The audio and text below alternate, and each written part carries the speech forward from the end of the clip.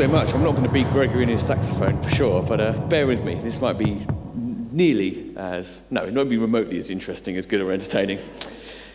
Is there a real you? This might seem to you like a very odd question because, you know, you might ask, how do we find the real you? How do you know what the real you is? And so forth. But the idea that there must be a real you, surely that's obvious. If there's anything real in the world, it's you.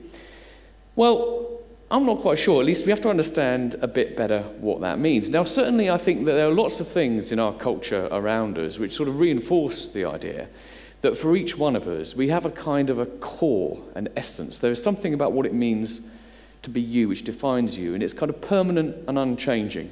The most kind of crude way in which we have it are things like horoscopes. You know, people are very wedded to these. Actually, you know, people put them on their Facebook profile as though they are meaningful. You know, your Chinese horoscope as well. There are also more kind of scientific versions of this. All sorts of ways of profiling personality type, such as the Myers Briggs test, for example. I don't know if you've done those.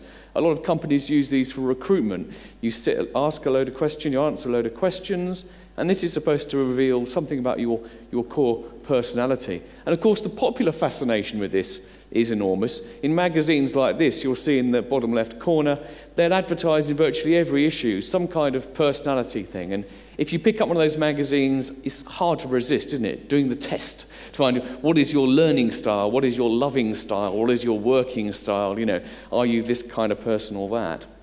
So I think that we have a kind of common sense idea that there is a kind of core or essence of ourselves to be discovered, and that this is kind of a permanent truth about ourselves, something that's the same throughout life. Well, that's the idea I want to challenge. And I have to say now, I'll say it a bit later, but I'm not challenging this just because I'm weird. The challenge actually has a very, very long and distinguished history. So, look, here's the common sense idea there is you. You are uh, the individuals you are, and you have this kind of core. Now, in your life, what happens is that you, of course, accumulate different experiences and so forth. So you, you have memories, and these memories help to create what you are. You have desires, maybe for a cookie, maybe for something that we don't want to talk about at 11 o'clock in the morning in the school. You will have beliefs. This is a number plate from someone in America. I don't know whether this number plate, which says Messiah 1, indicates that the driver believes in the Messiah or that they are the Messiah. Either way, they have beliefs about Messiahs. We have knowledge. We have sensations and experiences as well. It's not just you know, intellectual things. So, this is kind of the common sense model, I think, of what a person is. There is a, a person who has all the things that make up a life, the experiences. But the suggestion I want to put to you today is that there's something fundamentally wrong with this model. And I can show you what's wrong with one click, which is there isn't actually a you at the heart of all these experiences, right? Strange thought? Well, maybe not. What is there then? Well, clearly there are memories, desires, intentions, sensations, and so forth. But what happens is these things exist and they're kind of all integrated, they're overlapped, they're connected in various different ways. They're connected partly, and perhaps even mainly, because they are, belong to one body and one brain. But there's also a narrative, a story we tell about ourselves, the experiences we have when we remember past things. We do things because of other things. So what we desire is partly a result of what we believe, and what we remember is also informs what we know. And so, really, there are all these things like beliefs, desires, sensations, experiences. They're all related to each other, and that just is you. Okay? It's a very sort of, in some ways, it's a small difference from the common sense understanding. In some ways, it's a massive one. It's the shift between thinking of yourself as a thing which has all the experiences of life and thinking of yourself as simply that collection of all experiences in life. You are the sum of your parts. Now, those parts are also physical parts, of course, brain, bodies, and legs and things, but they aren't so important actually. You know, if you have a heart transplant, you're still the same person. You have a memory transplant, are you the same person? If you have a belief transplant, would you be the same person? Now, this idea that what we are, the way to understand ourselves, is as not of some permanent being which has experiences, but is kind of a collection of experiences, might strike you as kind of weird, but actually, I don't think it should be weird. In a way, it's common sense. Because I just invite you to think about, by comparison, well, well, actually think about pretty much anything else in the universe, maybe apart from the very most fundamental forces or powers. Let's take something like water, right? Now, my science isn't very good. Uh, we might say something like water has two parts hydrogen, one part oxygen, right? We all know that. No one thinks, I hope no one in this room thinks that what that means is there is a thing called water, and attached to it are hydrogen and oxygen atoms, and that's what water is. Of course, we don't. We understand very easily, very straightforwardly, that water is nothing more than the hydrogen and oxygen molecules suitably arranged. Everything else in the universe is the same. There's no mystery about my watch, for example. The watch, we say the watch has a face and hands and a mechanism and a battery. But what we really mean is we don't think there is a thing called the watch to which we then attach all these bits. We understand very clearly that you get the parts of the watch, you put them together, and you create a watch. Now, if everything else in the universe is like this, why are we different? Why think of ourselves as somehow not just being a collection of all our parts, but somehow being a separate permanent entity which has those parts? Now, this view is not particularly new, actually. It has a quite a long lineage. You find it in Buddhism, uh, you find it in 17th, 18th century philosophy going through to the current day, people like Locke and Hume. But interestingly, it's also a view you're increasingly being heard reinforced by neuroscience and everything. This is a Paul Broks, he's a clinical neuropsychologist. And he says this We have a deep intuition that there is a core, an essence there, and it's hard to shake off, probably impossible to shake off, I suspect.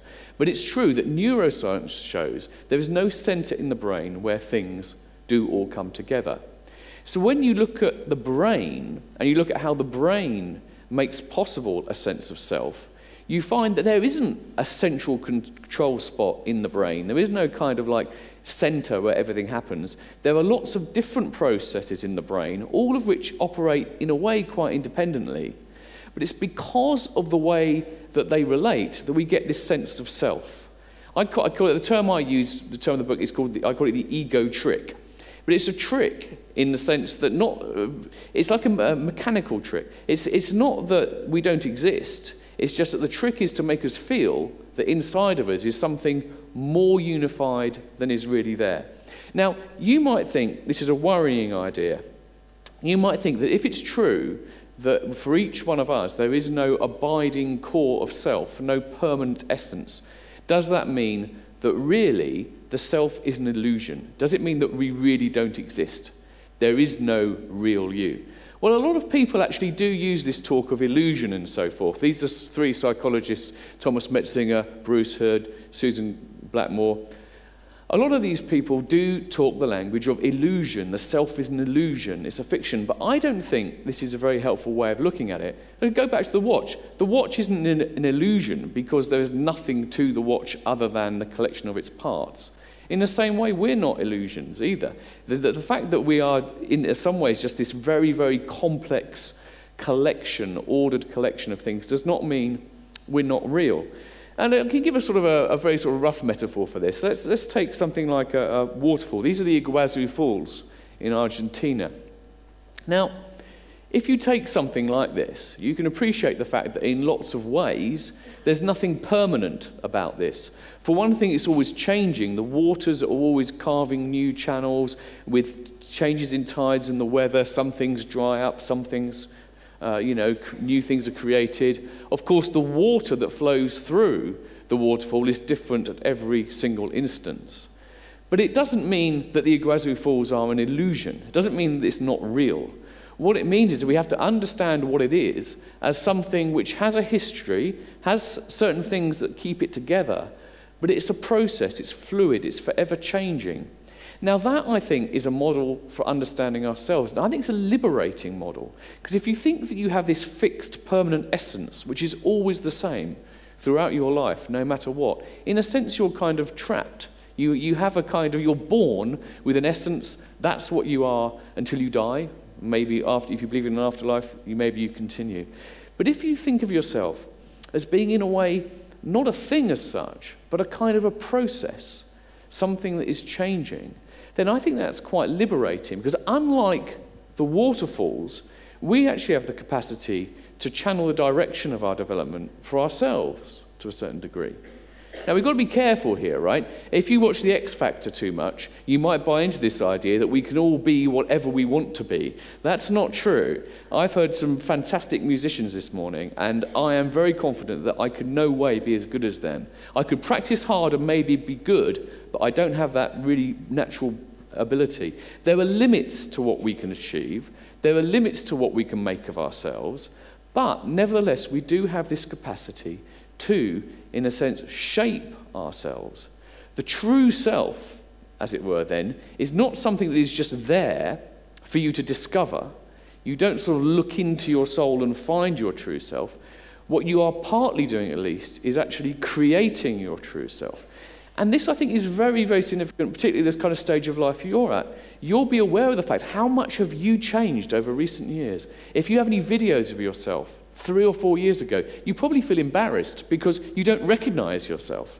So I want to sort of get that message over that what we need to do is think about ourselves as things that we can shape and channel and change. This is the Buddha again. Well makers lead the water, fletchers bend the arrow, carpenters bend a log of wood, wise people fashion themselves. And that's the idea I want to leave you with that your true self is not something that you will have to go searching for as a mystery and maybe never ever find. The, to the extent you have a true self, it's something that you in part discover, but in part create. And that, I think, is a liberating and exciting prospect. Thank you very much.